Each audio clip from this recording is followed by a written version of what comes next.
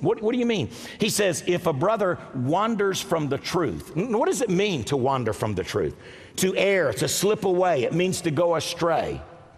Uh, it means to move about aimlessly as though lost. It, it, it's a word that means to get off course. Jesus would talk about his concern for his children in Matthew 18 12, was he's the shepherd, we're the sheep, and he said, What, what do you think? So he asked you the question. If a man has a hundred sheep and one of them goes astray, does he not leave the 99 and go to the mountains to seek the one that is straying? And I could go into a whole um, thesis on, on what it means to, to look for a straying sheep, but we know that that sheep alone doesn't stand much of a chance against all the predators. And the Bible warns us, warns us, warns us about a life of isolation. The Bible says a man who isolates himself seeks his own desires. He's not concerned about others speaking their life. So that's why we've got to go out and seek them.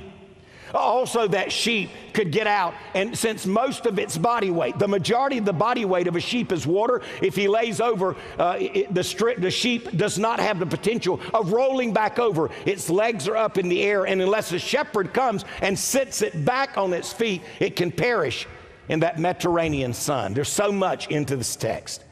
Now, it, it puts it into context of how it fits, like, okay, if it's a spiritual decline, in what area of our life? First of all, in conduct. Notice what it says.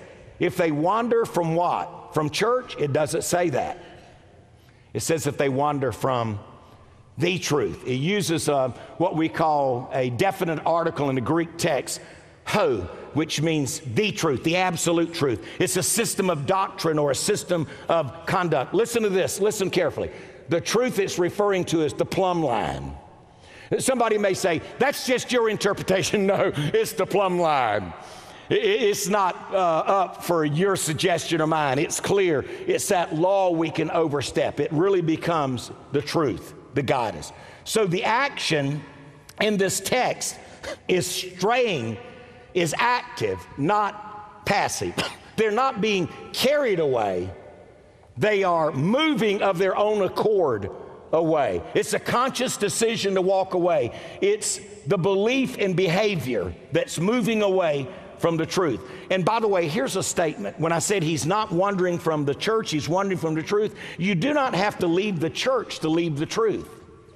See, you can leave the church and be out there wandering on your own and be far from God, but you can stay in the church and be here every Sunday and be far from the truth. Well, that's, that's a pretty bold statement.